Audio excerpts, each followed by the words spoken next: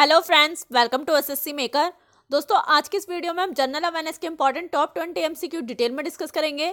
यह general awareness की series का पार्ट 15 है, जो कि आपके आने वाले railway NTPC group D SSC CGL CHSL MTS bank और ऑल एग्ज़ाम्स के लिए हेल्पफुल है।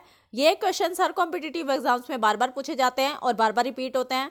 सारे क्वेश्चन इंपॉर्टेंट है, इसलिए वीडियो तक ज़रूर देखिएगा और सभी क्वेश्चन से रिलेटेड एक्स्ट्रा फैक्ट भी जानेंगे। तो चलिए स्टार्ट करते हैं हमारा फ़र्स्ट क्वेश्चन उससे पहले दोस्तों, आज का थॉट जान लेते हैं। आज का थॉट है tough times never last but tough people do okay तो दोस्तों, हमारा क्वेश्चन है, महिलाओं को ओलंपिक खेलों में भागीदारी का अधिकार किस वर्ष मिला?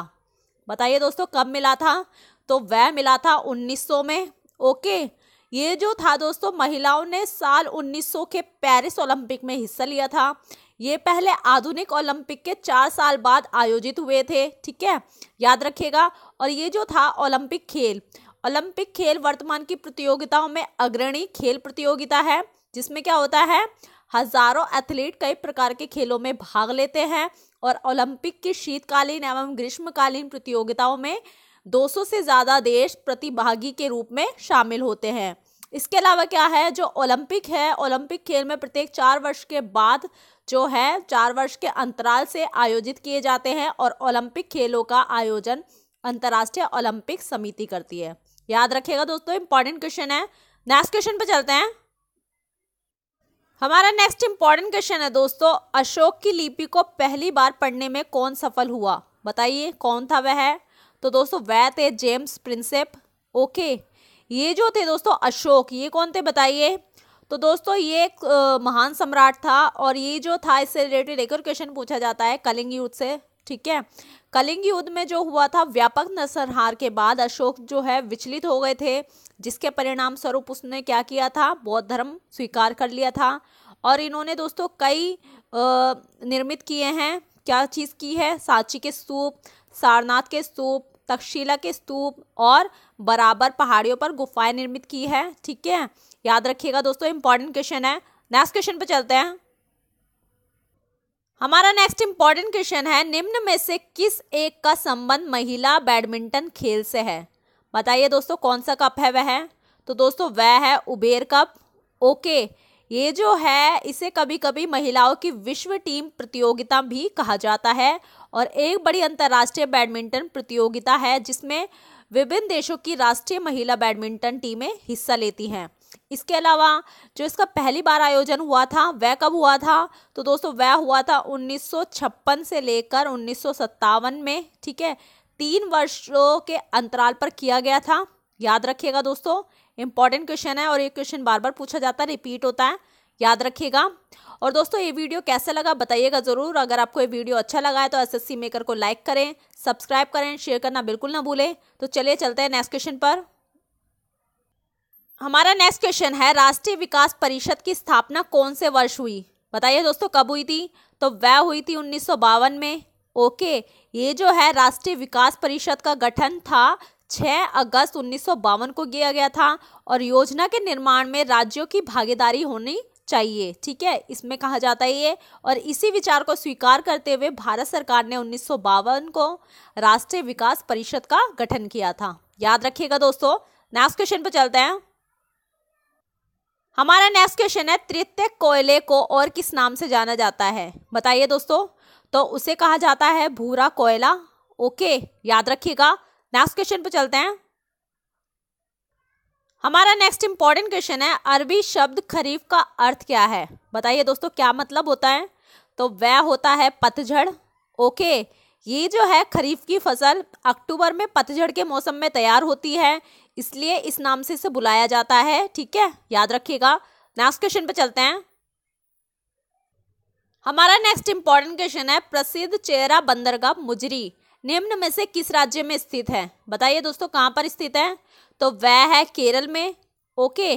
दोस्तों, यहाँ पे केरल की बात हो रही है तो कुछ इंपॉर्टेंट पॉइंट जान लेते हैं इससे रिलेटेड केरल की जो कैपिटल है वो कौन सी है बताइए? तो दोस्तों, वह है तिरुवनंतपुरम, ठीक है? लैंग्वेज यहाँ पे कौन सी बोली जाती है? तो दोस्तों, वह है मलयालम। और ये जो है केरल, इसका गठन कब हुआ था बताइए इस राज्य का? तो वह हुआ था फ़र्स्ट नवंबर उन्नीस सौ छप्पन को, ठीक है? और यहाँ के सीएम कौन है बताइए दोस्तों? तो वह है पिनराई विजयन, ठीक है? गवर्नर है यहाँ के आरिफ मोहम्मद खान, ठीक है? याद रखिएगा सारे इंपॉर्टेंट पॉइंट्स नेक्स्ट क्वेश्चन पे चलते हैं।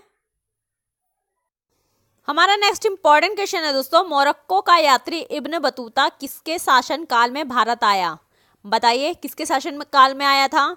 तो दोस्तों, वह था मोहम्मद बिन तुगलक ओके ये जो था दोस्तों इब्न बतूता, ये अरब यात्री था। विद्वान तथा लेखक है ये इसके अलावा। और यह मुसलमानों जो मुसलमान थे, मुसलमान यात्रियों में सबसे महान था।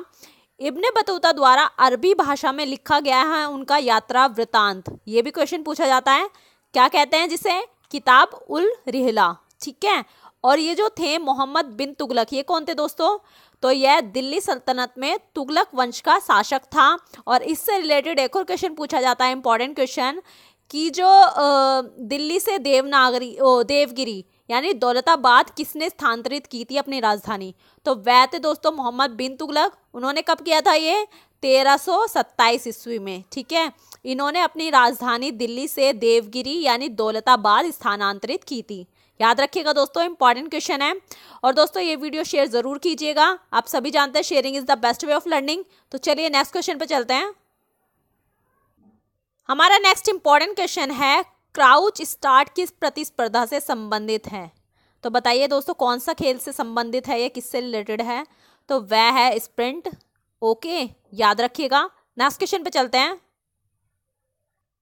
हमारा नेक्स्ट इंपॉर्टेंट क्वेश्चन है मेलबर्न क्रिकेट क्लब यानी एमसीसी का मुख्यालय कहाँ स्थित है?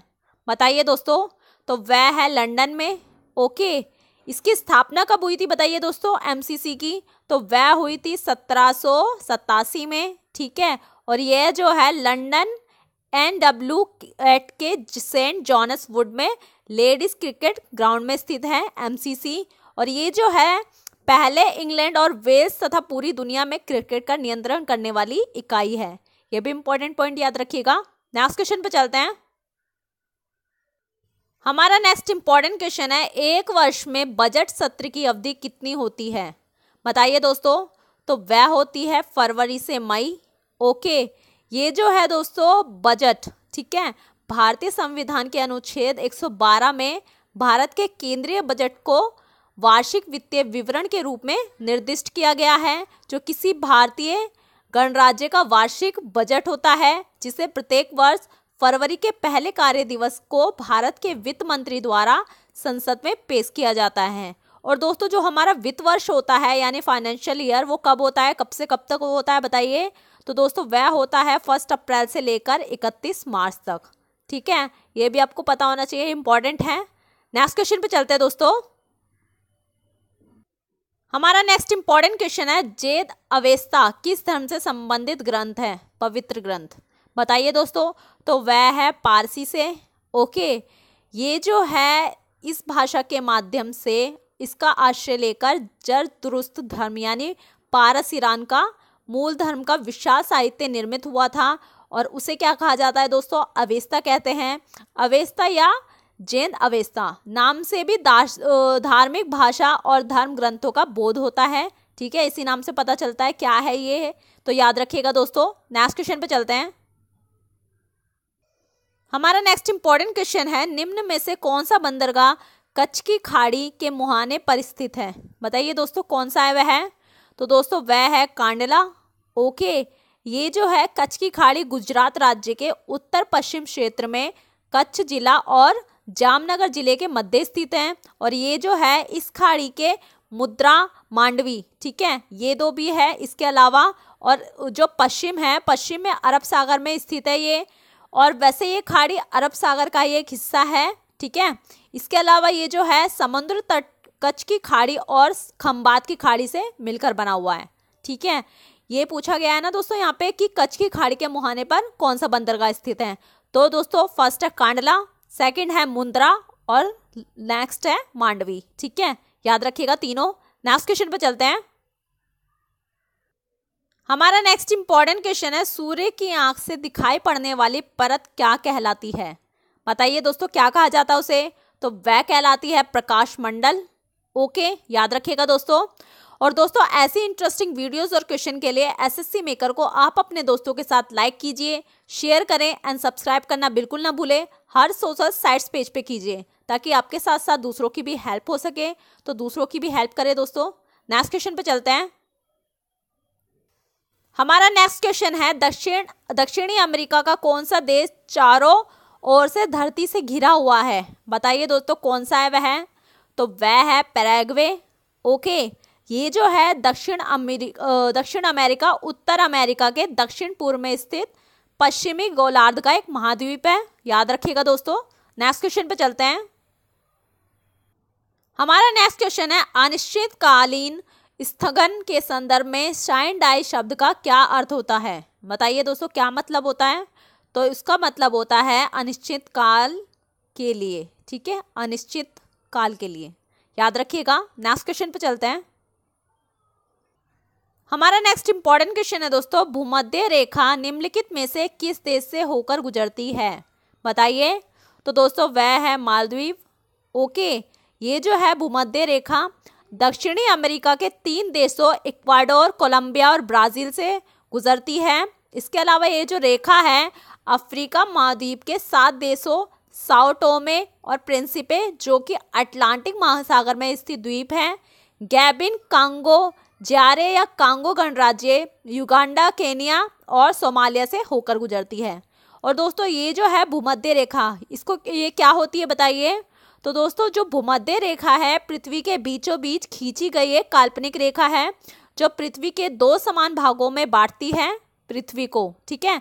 दो समान भागों में बांटती है और जो भूमध्य रेखा है, एशिया के दो देशों मालदीप और इंडोनेशिया से होकर गुजरती है। याद रखिएगा इंपॉर्टेंट क्वेश्चन है। नेक्स्ट क्वेश्चन पे चलते हैं दोस्तों। हमारा नेक्स्ट क्वेश्चन है ए आई ए ई का विस्तृत रूप क्या है? बताइए। आई ए ई ए का। तो दोस्तों, वह है the International Atomic Energy Agency, okay? Full form दोस्तों आपको सभी पता होनी चाहिए क्योंकि एक ना एक क्वेश्चन ज़रूर पूछा जाता है। इसलिए सारी फुल फॉर्म नोट कर लीजिएगा। नेक्स्ट क्वेश्चन पे चलते हैं। हमारा नेक्स्ट इंपॉर्टेंट क्वेश्चन है दोस्तों। कैपिटल एंड ग्रोथ पुस्तक के लेखक कौन है? बताइए, किसने लिखी है यह है? तो दोस्तों, वह है जॉन हिक्स ओके ये जो है सर जॉन हिक्स एक ब्रितानी अर्थशास्त्री थे और ये जो बुक पब्लिश हुई थी दोस्तों, कब हुई थी? बताइए, कौन से ईयर में हुई थी? तो वह हुई थी 1965 में, ठीक है? और दोस्तों 1972 में जो जॉन हिक्स है, उन्हें नोबल मेमोरियल प्राइज मिला था किसमें? इकोनॉमिक साइंस में। याद रखिएगा। नेक्स्ट क्वेश्चन पे चलते हैं दोस्तों। हमारा लास्ट क्वेश्चन है दोस्तों, राष्ट्रीय बालिका दिवस कब मनाया जाता है? बताइए। तो दोस्तों, वह मनाया जाता है 24 जनवरी को। ओके ये जो है राष्ट्रीय बालिका दिवस 24 जनवरी को मनाया जाता है। क्यों? क्योंकि 24 जनवरी के दिन इंदिरा गांधी को नारी शक्ति के रूप में याद किया है, ठीक है? याद किया जाता है। और इस दिन जो था दोस्तों, इंदिरा गांधी पहली बार प्रधानमंत्री की कुर्सी पर बैठी थी। इसलिए इस दिन को राष्ट्रीय बालिका दिवस के रूप में मनाने का निर्णय लिया गया था। याद रखिएगा, दोस्तों, पंद्रह जनवरी, यहाँ पे मिस्टेक हो गया दोस्तों। पंद्रह जनवरी को कौन सा डे बनाते हैं, बताइए दोस्तों? तो वह मनाया जाता है थल सेना दिवस। ठीक है दोस्तों, ये भी आपको पता होना चाहिए, याद रखिएगा। इंपॉर्टेंट क्वेश्चन है डेज़ और डेट से रिलेटेड भी क्वेश्चन ज़रूर पूछा जाता है, इसलिए आपको सभी डेज़ और डेज़ याद होने चाहिए डेट्स और डेज़ ठीक है दोस्तों तो सभी आप नोट कर लीजिएगा। तो दोस्तों, ये थे जनरल अवेयरनेस के important top twenty MCQ I hope ये वीडियो आपको पसंद आया है। ये वीडियो कैसा लगा कमेंट बॉक्स में ज़रूर बताइएगा। पसंद आया तो अपने स्टडी रिलेटिव ग्रुप में शेयर ज़रूर करें और एसएससी मेकर को लाइक सब्सक्राइब एंड शेयर करना बिल्कुल ना भूलें। आज के लिए बस इतना ही। थैंक यू सो मच दोस्तों।